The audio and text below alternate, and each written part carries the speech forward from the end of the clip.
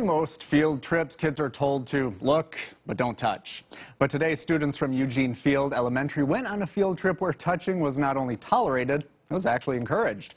KELOLAND's Perry Groten shows you how this visit downtown is sculpting young minds.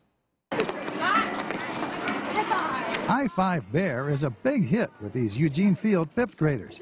But every one of these young art critics has a favorite. That's the coolest sculpture yet. My favorite sculpture was uh, the cat one made of bicycle parts. It was this girl artist that races with bikes uh, across the country, and um, she and she just took some parts that she uses to fix bikes to and she made a sculpture out of it. I like the food chain one just because, well, I think it was kind of the most interesting because like all those sharks are just piling on each other. Ooh, it's a whale At the front.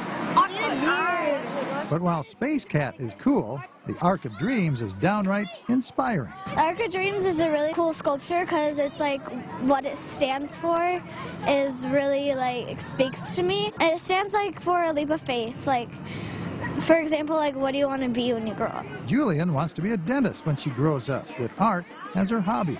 That's music to the ears of art teacher Megan Erickson. I think it was really cool for the kids to hear some of the background on the artists, that they're, you know, artists who are teachers here in the area, that they're just community members, not necessarily people from far away. I feel like so many of the artists they learn about are people from the past or people from, you know, New York City or Paris or something like that.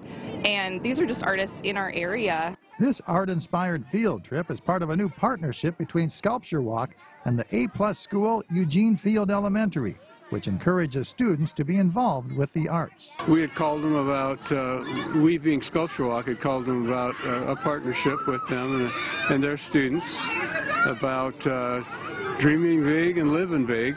You know, that's that's the theme of the uh, Arc of Dreams. It was just a no-brainer to want to bring our students to see this huge collection of public art that is just right at our fingertips right here in Sioux Falls.